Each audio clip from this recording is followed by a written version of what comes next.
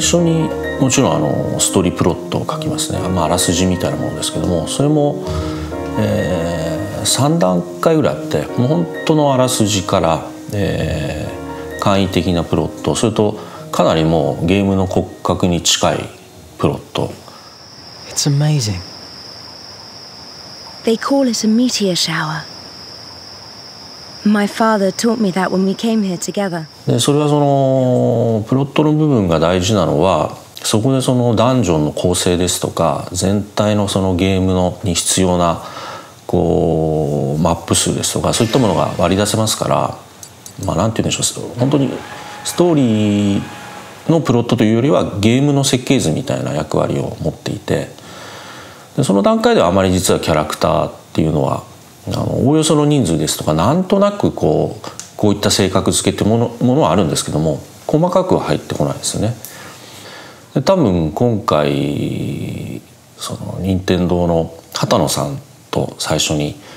どういう世界観にしようかって言った時に何かやっぱり温かみのあるその人のぬくもりとかないしはその肌触りがあるそういった世界をやろうよっていう話がありましたから、まあ、僕としては自然にやっぱりそういった毎年夏来ているヨーロッパの街並みみたいなもの、あのそこが浮かびましたしあとは、え、今回メインで、あのデザインをやっている藤坂ですね、まあ、キャラクターを描いてるんですけどもやはり彼がそのアートディレクションの立場ですから、まあ、話す中で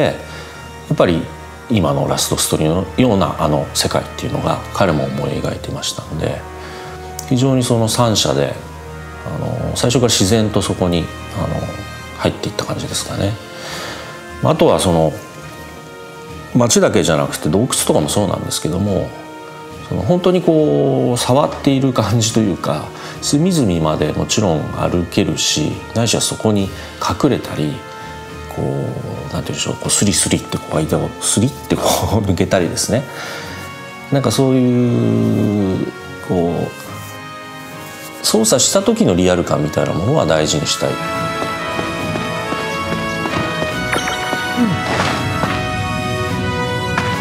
うん、うん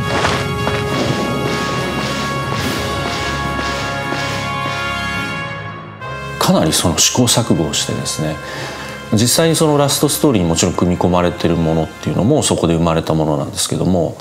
えー、逆にその捨てたアイデアっていうのも多分同じくらいかもしかしたらその採用したものよりも多くてそこでその練り込んだものを、えーまあ、一番いいと自分たちがあの思う方向性でまとめ上げましたから。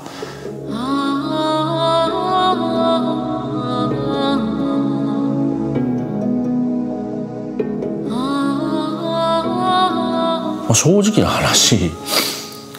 Wii ってボタンがまないんですよね。ですからやりたいシステムがこう頭に浮かんだ時にみんなでボタン足りないよっていう話になりました。なんでここにもう一つないかなみたいな。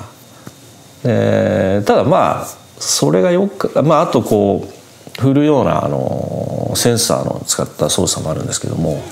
それを何か使おうっていうアイデアであの実際には搭載されませんでしたけど先頭巻き戻しできるみたいなシステムがあってその時はリモコンをパッて振るとキュルキュルキュルってこう時間が巻き戻るようなそんなシステムの時期もありましたし。